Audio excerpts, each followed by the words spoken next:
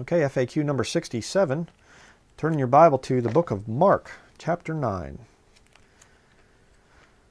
Mark chapter 9. We're going to read a couple verses here. The question comes up Mark, uh, what about this thing of what's going on here in Mark chapter 9, verse 43 through 44? We'll read those two verses. How does this deal with, is this, is this a kind of a reference to the mark of the beast? Let's look about this. Mark 9, verse 43. And if thy hand offend thee, cut it off. It is better for thee to enter into life maimed than having two hands to go into hell, into the fire that never shall be quenched, where their worm dieth not and the fire is not quenched. Now, if you have a new version, of course, it takes out verses 44 and 46. You know, they leave in verse 48, you know, kind of like a thief comes along and takes, uh, you know, two thirds of your money. And you, well, don't call him a thief then because he left me with one third of the money. Uh, no, he's a thief because he took anything from you. So don't, again, a little attack on the new versions there. But the point is, I've heard this thing brought up, and they say, well, what if you're forced? What if somebody's forced in the time of Jacob's trouble to take the mark of the beast? Say they get knocked out or something, and they wake up and there's a band aid there, and they go, what happened? Oh no, I got, you know, somebody put the mark of the beast in my hand. What am I going to do? And they go and they quick get a, a, big butcher knife or a machete or something, and, and they cut their hand off. And that's what Jesus is referring to here. Uh, no. Doesn't work. Turn back to Revelation. The book of Revelation. And verse, or excuse me, chapter 13.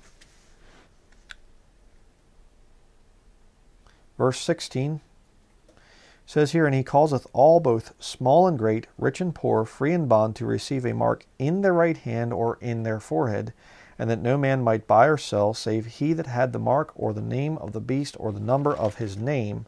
Here is wisdom. Let him that hath understanding count the number of the beast, for it is the number of a man, and his number is six hundred three score and six.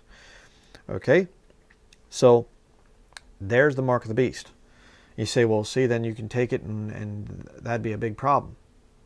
Let's actually look and see what the punishment comes upon or why the punishment comes.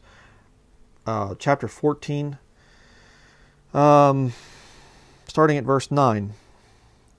And the third angel followed them, saying with a loud voice, If any man worship the beast and his image, and receive his mark in his forehead or in his hand, the same shall drink of the wine of the wrath of God, which is poured out without mixture into the cup of his indignation, and he shall be tormented with fire and brimstone in the presence of the holy angels and in the presence of the Lamb.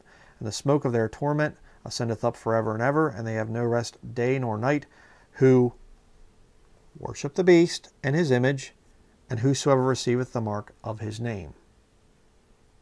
Two things. And that's an easy thing to remember there because, you know, we have here in America, I don't know about other countries, you have, you know, 911 call 911 for an emergency. So just remember in your mind Revelation 14 9 through 11. That's a very, very bad place to be. you know, if you aren't saved and you miss the rapture and you go into the time of Jacob's trouble, you have to keep that stuff in mind. But you see there, it's a two part system that gets you God's wrath for eternity, that gets you damned without any kind of remedy at all. It's a two part system worshiping the beast and taking the mark. So if conceivably somebody would be in a car accident or something and they in the time of Jacob's trouble, which I'm sure there's going to be plenty of those, and they get taken to the hospital and they're unconscious and the people look at their medical records and they say, "Oh, they don't have the mark of the beast, you know, they don't have the implantable RFID chip." You know? And so we're going to do this, you know, and and they put the chip in them and the person's you know in the hospital bed and they wake up and they go they look down and go oh no you know. Cutting your hand off isn't going to do anything but make you have one less hand okay? Uh, you could get that chip in you and yet say you know if it's forced upon you and say i'm not worshiping the beast you know? And of course the body of christ isn't going to be there i know that. But what i'm saying is somebody in that time if the chip was forcibly put into them they could still say, I'm not worshiping the beast. And a good example of that would be Shadrach, Meshach, and Abednego back in the book of Daniel. The book of Daniel and the book of Revelation, it's kind of like Daniel is really the, the end times book for the Old Testament. The book of Revelation is the end times book for the New Testament. And you read the two of them together, they mesh perfectly.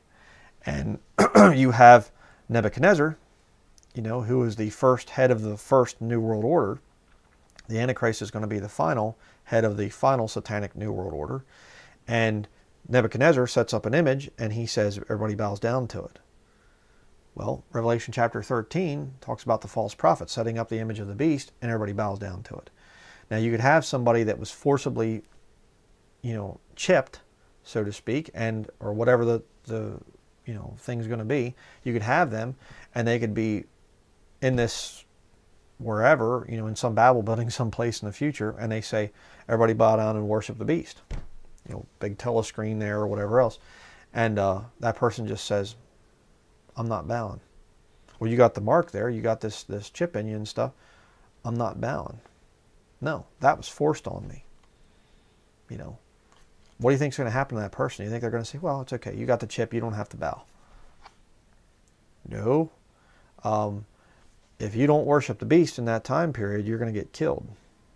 You know. And you say, well, then it's okay. Somebody could take the mark of the beast and, you know, they could take the chip and they could go out and, and buy things and just kind of live in the community. Just don't worship the beast. Uh, no, it's not going to work that way because you see, it's going to be a total control system. So if you if you take that chip, I believe that it's going to be, you get in line to take the chip, and it'll be okay. They put the chip in you, and right away it's like okay, now, you know, raise your left hand, you know, because the goats are going to be on the left hand of Jesus Christ. Raise your left hand. Do you swear allegiance to the beast, uh, whole allegiance, nothing but allegiance, or something? Whatever they're going to do. I think it's going to be chipped and worship the beast all at once. So for some weird reason, somebody would be unconscious and they'd chip them. They could come to and, and they'd be like, you know, you've been implemented with the new cashless ID, and are you willing to pledge your allegiance to, you know, our Christ? And you say, uh, no, I, I want that thing out of me. No, it's, it's forced now by law. Well, I'm not worshiping the beast. Well, that's going to be, de- you know, death penalty. Whatever. I'm not worshiping the beast, and you did that thing against my will. Doesn't mean when Jesus says in, that, in Mark chapter 9 there, doesn't mean, you know, cut your hand off, you know, and you can be maimed then and go into life. No, you don't have to do that. Uh, I don't believe that. So hopefully that answers the question.